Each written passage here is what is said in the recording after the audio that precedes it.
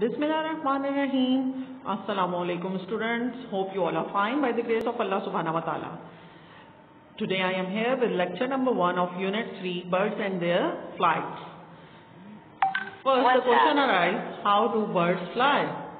Most birds are flying animals. Birds fly with their wings. Hollow bones, feathers and wings help bird to fly in the air.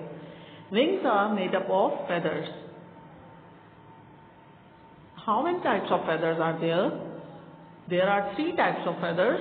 Number one, down feathers. Down feathers are soft, small and fluffy. They cover the body of the bird to keep it warm. Then we have second type that is flight feathers. Flight feathers are long and flat on the wings. They help the bird to fly. Third we have tail feathers. Tail feathers are attached to the tail. Tail feather open out like a fan to slow down a landing bird. Flight. Some birds fly very high, some fly low, some fly very low, some do not fly at all. Birds flying high.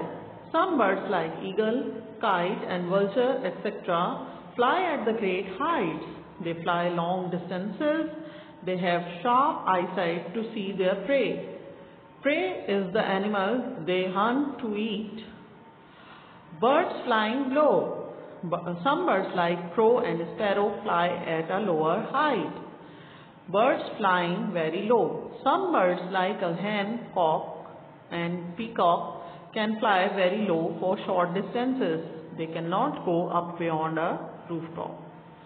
Hope you have understood this lecture. See you soon with another lecture. Allah Hafiz.